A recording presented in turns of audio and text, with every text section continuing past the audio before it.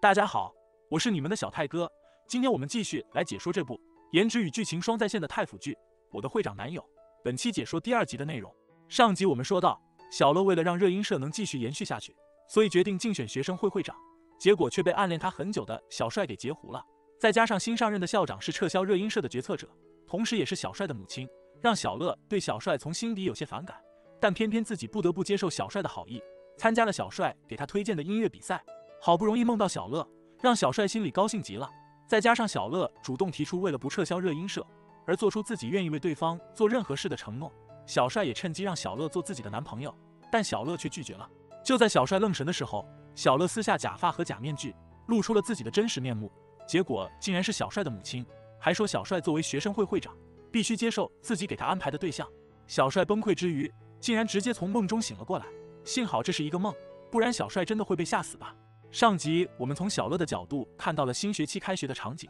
但事情如果换一个角度的话，却是截然不同的故事呢。小帅从噩梦中清醒过来后，恢复了好一会儿才去准备上学，临走前还不忘留恋的看一下柜子里摆放的照片后，这才开始去上学。当他坐在妈妈的车里去上学时，两人提到了关于在众多同学面前演讲的事情，小帅也趁机表达了自己对学生会会长并不感兴趣，理由是不想耽误自己的学习。他的母亲也表示理解。但就在帅妈和他说话的时候，小帅却看到在街边买早餐的小乐，让他对母亲的话充耳不闻。等到母亲上台演讲的时候，小帅也是全程看着小乐的身影，让一旁的朋友看了都忍不住调侃他。母亲的演讲结束之后，小帅和朋友在一块待着，小帅也是一直心不在焉的，满脑子都是小乐竞选学生会会长的事情。当朋友给他出主意让他去竞选学生会会长时，小帅虽然也表示赞同，但却纠结于自己不想和小乐一起竞争。然后被小乐误会自己的心思，小帅说出自己的担忧之后，却被朋友一句话点通了任督二脉，也让他回忆起了自己之前的惨痛经历。原来小帅早在两年前就喜欢上了小乐，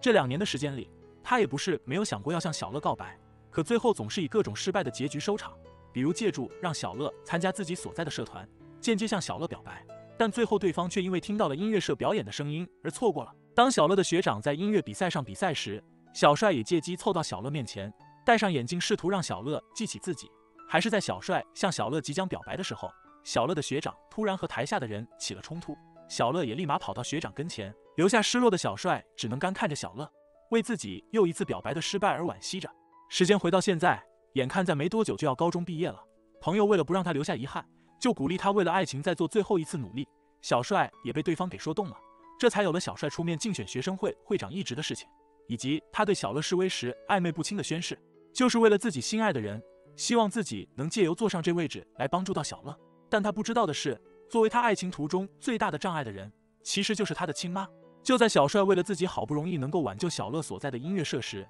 他的母亲却在想方设法的要关掉热音社社团，导致小乐对小帅有很大的敌意，也让小帅发愁的要命。原以为帮热音社赢得民间音乐比赛的冠军，就能让社团存续下去，他和小乐之间也会有更多的可能。但就在他以为已经成功了的时候，小乐前来找他批购买乐器的预算，让小帅只好表面镇定，还向他甩脸色，但心底却高兴的不得了，还被朋友调侃他应该向小乐表明自己的心意的。小帅也情不自禁地思索这件事的可能性，甚至还拿着一束玫瑰花去社团向小乐表白，提到自己印象中和小乐的初次见面。可没曾想，突然有同学来搬社团的乐器，就连批准单都有了，小乐只好让对方搬走，顺便白了一眼小帅，也让小帅第三次的表白再次以失败告终。在饭桌上，小帅一家人正在用餐，小帅也不禁提起了搬走社团乐器的事情。他的妈妈还说，这件事本就是因社团而起，用这样的方式来偿还之前在纷争中对方要求的赔偿金，这个方法也是很靠谱的。毕竟自己没有让他们自己凑钱去赔偿，已经算很好了。闻言，小帅和帅爸忍不住提出自己的意见，但帅妈当即就不高兴了。而眼看这话题惹得母亲在饭桌上不是太愉悦的样子，小帅只能决定另寻办法帮助小乐。小乐因为失去了乐器而无法练习，迫于无奈的他便找来小帅这边恳求小帅。但这样的一幕也让小帅不禁怀疑自己是不是在做梦，让小乐看得一脸懵逼。正当小帅要对对方提出自己的要求时，小乐却突然向对方下跪，低声下气的求他和他的妈妈，希望他们一家能放过自己和热音社，也希望小帅能用他的职权看看能否让校方归还乐器，让他们能够练团。小帅自然答应了对方的条件，让小乐做自己的奴仆。也正是因为这样。小帅着实是享受了一小段快活惬意的两人时光，无论他做什么，小乐都会在自己的身边陪着自己，让小帅都有种两人在谈恋爱的错觉了。而在这期间，小帅为了热音社能够继续下去，也是卯足全力在审核校内大大小小的经费开销，企图想利用这部分来填补热音社的坑。没曾想老天就是硬要跟他作对，偏偏这时管乐社得奖的消息传来，说他们要出国比赛，这才来向小帅求经费。因为这样，小帅也很是束手无策，还被大家误以为他这样节省是为了管乐社，只能认下这个夸奖。也因为他没能履行答应小乐的条件，让小乐以为他对自己食言，其实心里根本不想帮他的忙。而气得不想再搭理他，也让小帅的朋友对他好一阵安慰，但也发出了自己的疑惑：被这么多人追求的小帅，为什么偏偏认准了小乐呢？相信这也是小伙伴们好奇的地方吧。事情是这样的，那天正好是小帅的生日，本来一家人约好要一起帮他庆祝生日的，但因为帅妈临时接到校长请吃饭的通知，让帅妈只好爽了小帅的约，偏偏朋友也不能过来帮他庆祝。就在小帅失落的时候，小乐拿着刨冰过来了。还向小帅介绍自己的名字以及他和小帅的渊源，还和小帅随意聊了两句。之后，小乐甚至在自己妈妈的店里为小帅唱了一首歌，让小帅心里觉得很是温暖。自此，也将小乐放在了自己的心里。小帅将自己对小乐钟情的由来一一告诉了朋友，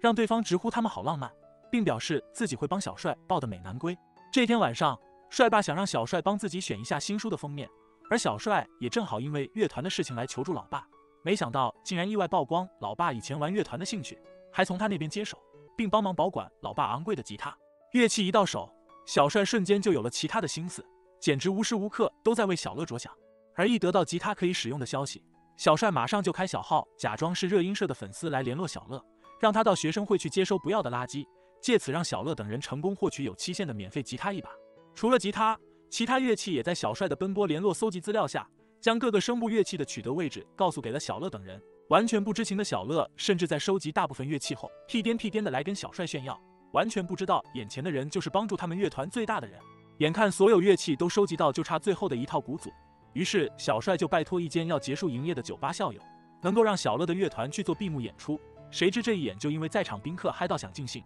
从原本两小时的演唱直接唱到超时，小乐也因为卖力歌唱，唱到后面都有些精疲力尽，看着小乐快撑不下去。在远处观察的小帅便自请上台帮忙救场，还唱了当时在他最孤独时，小乐在冰店内给他演唱过的情歌。最后，小乐等人终于顺利熬到演出结束，除了得到免费一套鼓组外，还获得了丰厚的酬劳。事后，小乐询问小帅为什么要帮忙他们，小帅就表示自己是学生会长，有义务帮助任何需要的学生。但实际上，小帅是从店长那边听到一个消息，热音社的人因为有不成文的社团规定，表示要参加比赛获奖后才能有对象。于是，为了能够与小乐谈恋爱，小帅也铁了心要帮助小乐等人赢得热音比赛。本集完，下集我们将说到小乐是否能够懂得小帅的心意呢？他和小帅之间又会有着怎样的故事呢？让我们一起拭目以待吧。好啦，本期内容到这里就结束了，请小伙伴们锁定泰兰德的故事，我们下期再见。喜欢节目的观众老爷们，请给个一键三连吧，可以第一时间看到更新哦。